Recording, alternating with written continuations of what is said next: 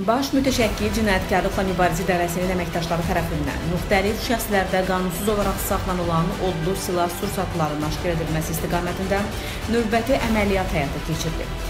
Belə ki, baş idarəyə Beyləqan rayonu Şahsevən kənd sakini Zamiq Əhmədlinin yaşadığı evdə xeyli sayda silah sursat gizlətməsi barədə əməliyyat məlumatı daxil olub.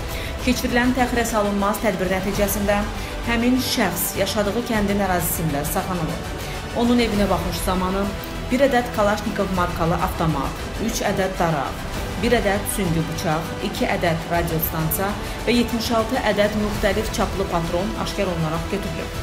Faktla bağlı Baş İdarədə Cinayət Məcəlləsinin 228.1-ci, yəni qanunsuz olaraq odlu silah, onun komplekt hissələrini, döyüş sursatı, partlayıcı maddələr və qurğular əldə etmə, başqasına vermə, satma, saxlama, daşıma və gəzdirmə maddəsi ilə cinayət işi başlanılıb. Zamiq Əhmədli barəsində Nərmanov rayon məhkəməsinin qərarı ilə həbs qəti imkan tədbiri seçilib. Araşdırmalar davam etdirilir.